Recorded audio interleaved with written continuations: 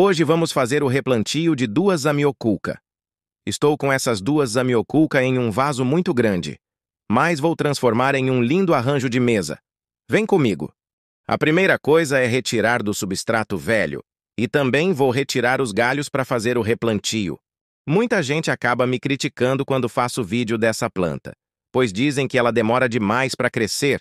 O segredo para você ter uma zamioculca linda na sua casa e ter um bom substrato, faça a adubação periodicamente e não deixe que ela pegue sol. Também não pode deixar o substrato dela encharcado, pois atrapalha seu desenvolvimento. Se fizer todas as dicas, sua zamioculca vai crescer rapidinho. Pronto! Fiz a poda dos galhos, deixei um pouco de raiz. Agora é só fazer o replantio em um vaso, com um substrato rico em matéria orgânica e bem drenável.